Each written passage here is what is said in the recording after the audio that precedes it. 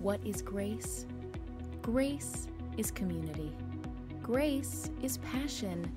Grace is for everyone. Uh, today, we are continuing our series called All About Love. We've spent the last four weeks looking at what it really means to love someone. We found first that love means helping someone grow spiritually. That's the core of love, right? Then we looked at the special role of children and how clear Jesus was about taking care of those who are weak among us. Next, we saw that lying is not loving. We have to be true to the essence of who we are. And then last week we explored this idea of loving yourself. It can sound selfish, but ultimately, when we put our focus on God and others, the exact opposite happens. By caring for others, we avoid a selfish kind of love and actually become better at loving ourselves. I think that's a glimpse of the kind of life God calls us to. Now we dive even further into this idea as we explore what divine love is. How do we get that? How do we live with God's love in our lives? To get at this question, Christine is going to share for us our scripture from Luke 17. It's a story where Jesus is talking to the Pharisees, the religious leaders of Jesus' time, and they want to know when the kingdom of God is coming. Some thought there was this set time, but no one on earth knew when that was. Others said the kingdom would come when all of Israel repented of their sins. They want to know the answer. But Jesus gives them a wholly unexpected answer. I know we have guests here with us today for our baptism, and normally I would not go so deep into a, a difficult and challenging passage, but it is very strangely fitting for our series. So listen to the Gospel of Luke 17 20 through 37. Hear now the word of the Lord. Once Jesus was asked by the Pharisees when the kingdom of God was coming. And he answered, The kingdom of God is not coming with things that can be observed, nor will they say, Look, here it is, or there it is. For in fact, the kingdom of God is among you. Then he said to the disciples, The days are coming when you will long to see one of the days of the Son of Man, and you will not see it. They will say to you, Look there, or look here. Do not go, do not set off in pursuit. For as the lightning flashes and lights up the sky from one side to the other, so will the Son of Man be in this day. But first, he must endure much suffering and be rejected by this generation. Just as it was in the days of Noah, so too it will be in the days of the Son of Man. They were eating and drinking and marrying and being given in marriage until the day Noah entered the ark, and the flood came and destroyed all of them. Likewise, just as it was in the days of Lot, they were eating and drinking, buying and selling, planting and building. But on the day that Lot left Sodom, it rained fire and sulfur from heaven and destroyed all of them. It will be like that on the day that the Son of Man is revealed. On that day, anyone on the housetop who has belongings in the house must not come down to take them away, and likewise, Anyone in the field must not turn back. Remember Lot's wife. Those who try to make their life secure will lose it, but those who lose their life will keep it. I tell you, on that night there will be two in one bed, one will be taken and the other left. There will be two women grinding meal together, one will be taken and the other left. Then they asked him, Where, Lord? He said to them, where the corpse is, the vultures will gather. And from Genesis 1:27, so God created humankind in his image. In the image of God he created them, male and female he created them. This is the word of the Lord for the people of God. Thanks be to God. Let's pray as we begin. God, may we be an inclusive community passionately following Jesus Christ. Draw our hearts to you, Lord, that we may experience your divine love. Open us up to your word and your ways. In Christ's name we pray. Amen. Have you ever felt like the work that you do is meaningless? It might seem like an outlandish claim, but there are actually plenty of people that feel exactly that way. Uh, one survey from a few years back said 37% of people felt their jobs did not make a meaningful contribution to the world. These meaningless jobs, though, probably aren't the ones you're thinking of. This isn't retail or custodial or fast food or something like that. This is the professional service sector. It's people working in human resources, public relations, lobbying, telemarketing. They say, if you eliminated my job today, society would be no worse off. Take Eric, for example. He is a history graduate hired to oversee a software project in a large firm. Eric only discovered after several years on the job that one partner had initiated the project, but that several others were totally against it and were actively trying to sabotage its success. His job, and that of a large staff hired beneath him, was a meaningless effort to put into place a change that most of the company didn't want. How about another example of a senior manager for a large accounting firm? He was hired by a bank to oversee the disbursement of funds for insurance claims. The company, this manager says, purposefully mistrained accounting staff and saddled them with impossible tasks so the, world, uh, the work could not be done in time and the contract would have to be extended. So, in other words, the job was intentionally set up to siphon off as much money into the bank as possible. Their impossible jobs existed solely to leech money from the contracted company. I heard a podcast this week of a, a, wager between a hedge fund manager and Warren Buffett. Warren Buffett had given a speech saying he could beat anyone's investment with a simple indexed fund, which is just an investment essentially in all the funds rather than just five or six well researched ones. Buffett bet a million dollars on it, and 10 years later, guess who won? The guy who did all the research and picked the best stocks out there, or Warren Buffett who just picked all the funds? Well, if you picked against Warren Buffett, you must not know he's one of the richest people in the world and is called the Oracle of Omaha. He easily won, outgaining the hedge fund manager by almost 40% growth. Though I do not approve of gambling in any form, I am grateful that Warren Buffett took his million dollars in gambled winnings and gave it away to a charity that built homes for foster children that age out of foster care. At least some good came out of it, but boy, it must feel awful to be a hedge fund manager and to lose to an indexed fund. What good is your work if you can't beat the average? Now, I know some of the good folks in this church work in the financial industry. I know you are already writing in your heads an email to me, and I look forward to your letters that tell me why I'm completely wrong about indexed funds. But the point still stands that plenty of people feel like their work is meaningless. And the same can be true not just in work, but in a person's whole life. They feel like, what's the point? What good is any of this? And so life becomes about feeling good and doing good. Now, that might strike you as strange. Feeling good and doing good, those sound like pretty good things. What's so wrong with that? Let me explain.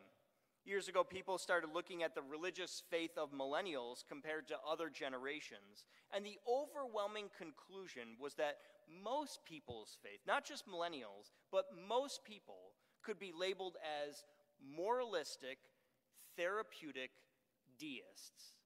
Instead of the Christian faith, most people believed in, and I quote, something like a combination divine butler and cosmic therapist. He's always on call, takes care of any problems that arise, professionally helps his people to feel better about themselves, and does not become too personally involved in the process.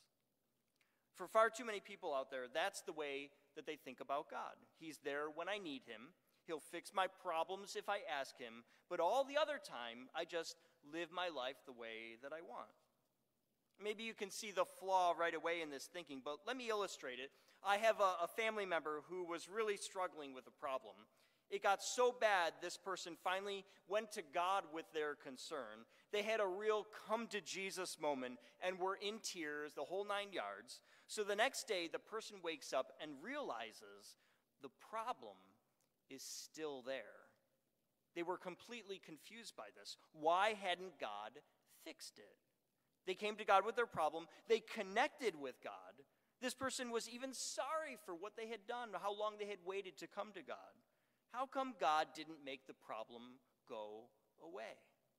Why wasn't God their divine butler serving up the healing they needed? Not only did they still have the same problem, now they also have a crisis of faith on their hands. They might even think, God doesn't love me, or God doesn't care, otherwise, He would have helped me when I really needed it. The whole premise here, though, is all wrong. God isn't here to serve us, it's literally the complete opposite of that. We see it in Luke 17. The religious leaders in Jesus' time wanted to know when the kingdom of God would come, when people would stop rejecting God's authority. Like I said at the start, some thought it was a specific set time, while others said when everyone repents, that's when the kingdom of God begins. But Jesus said, No, you have it all wrong. It's not a thing you see with your eyes. The kingdom is already among you. Older translations say the kingdom of God is within you. The Bible was originally written in Greek, and the Greek word there is entos, which usually just means inside. So within makes sense, except when you're talking about a bunch of people. Then it's not inside one person, it is among the people there. This is an important point because Jesus is not saying the kingdom of God is inside the Pharisees. Those religious leaders kept getting it wrong when it came to what God wants for the people. Jesus is not offering a happy go lucky gospel that everyone automatically has the kingdom of God inside of them.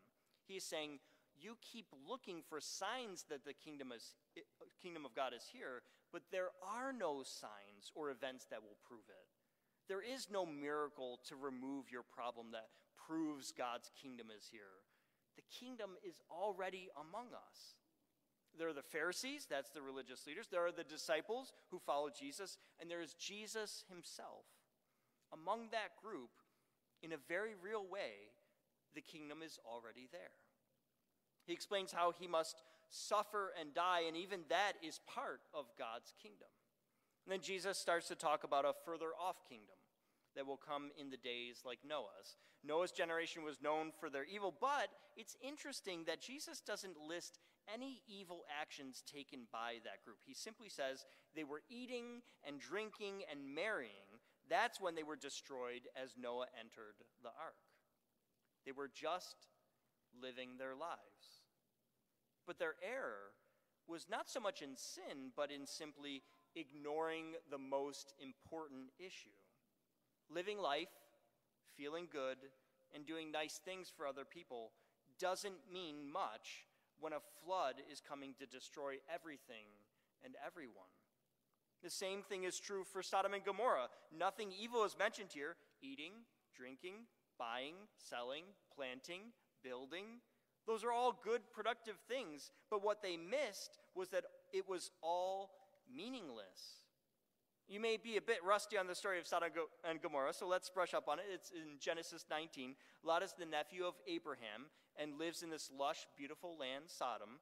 Lot is told by some men to get anyone with him out sons, daughters, any extended family. And when Lot tells his family members, Come on, let's go, this place is going to be destroyed, Lot's extended family doesn't listen.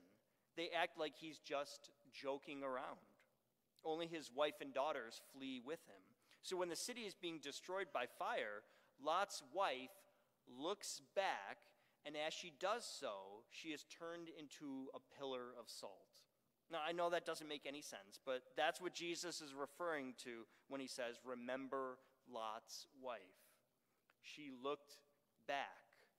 She longed for her home in Sodom. She wanted to go back and have all the things she had before, and that is what led to her destruction. I'm pretty sure this is where movie directors came up with that classic shot where the action hero lights a match and chucks it behind them. As fire rains down from an explosion, they coolly walk off without looking back. Don't look back. Don't dwell on the past. That's the point. There's one last part of this passage that might not make sense right away to you. It says, Anyone on the housetop who has belongings in the house must not come down to take them away. Anyone in the field must not turn back. Most homes back then had a flat rooftop, and the stairs to get down were outside of the home. The idea here is that if you're up there and you see that Jesus the King is coming in the distance, you have to come meet the King. You have to come down those stairs and come straight to the king. You can't run inside and get your stuff. You can't stop to get yourself ready. This is your one shot to greet the king. Similarly, if there was a disaster coming and you saw it from far off, you can't go grab your stuff inside. You flee. You run as fast as you can. That's what Noah did, and that's what Lot did. So essentially, be ready at any moment to meet your Maker. Whether it's Jesus the King coming back or a sudden disaster, be ready. And the way we get ready is not with more stuff or more possessions. We can't be ready with a ho hum life, just bumping along, eating, drinking, and marrying. The only thing that prepares us for that sudden day is putting our trust in Jesus, putting our faith in God and building up that relationship of divine love. If we come at God thinking of Him in moralistic, therapeutic, deistic terms, thinking of Him as our divine butler, we are not in a relationship with God. We are just trying to use God to get what we want. God wants us.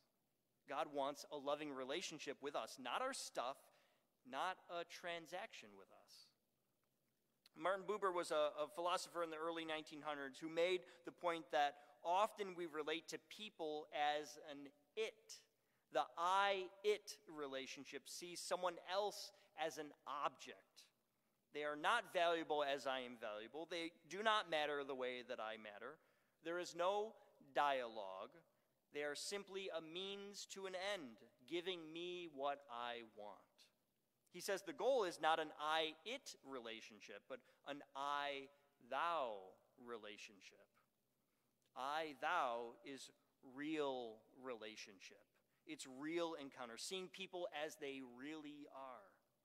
We can have this kind of connection with people. Often it's with a spouse or a best friend, or even strangers when you really pause to consider who they really are.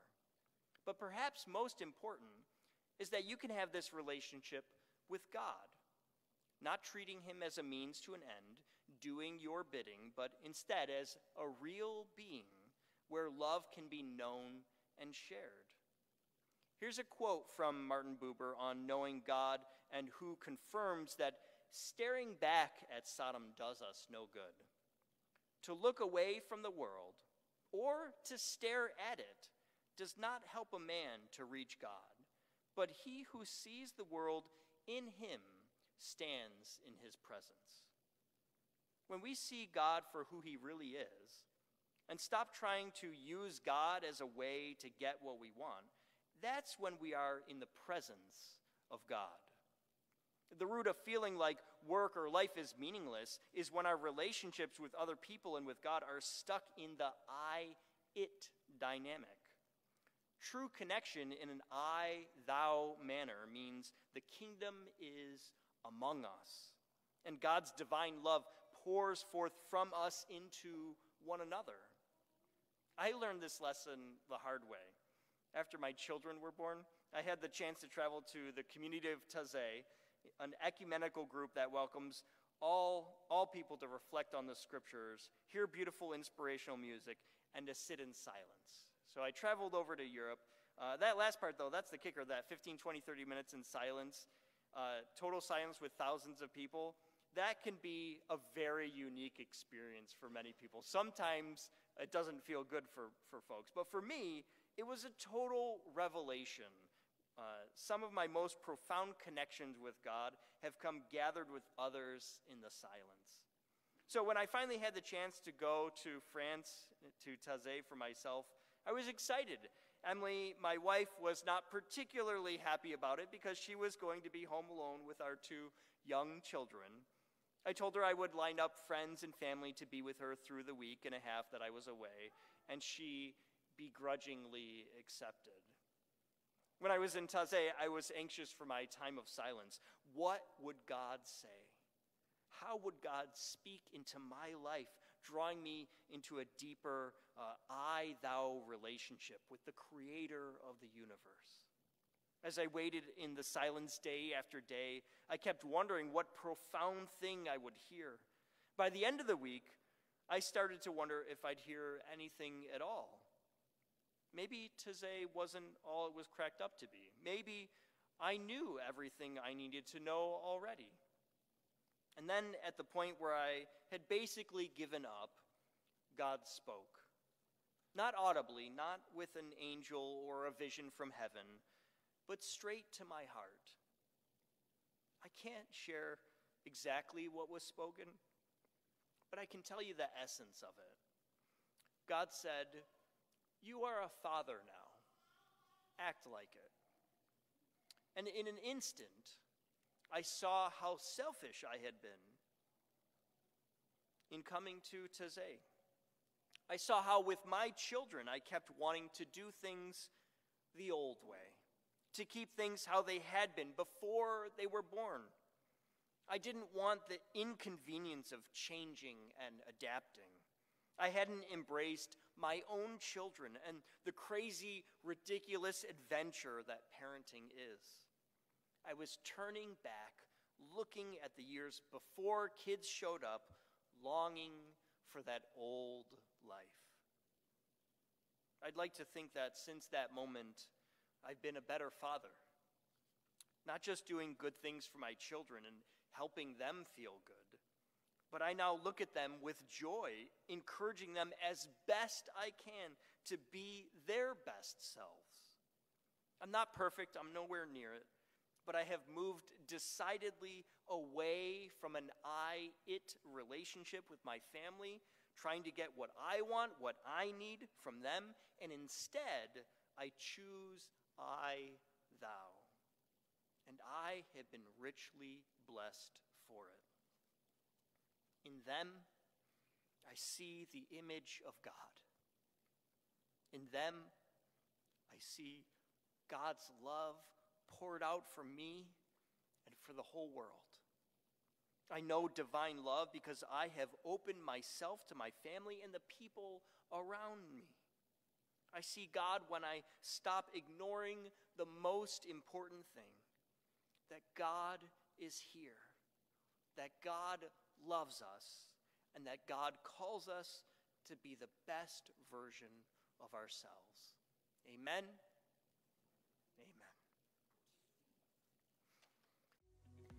For everything happening at Grace, check out our website at gumc.org.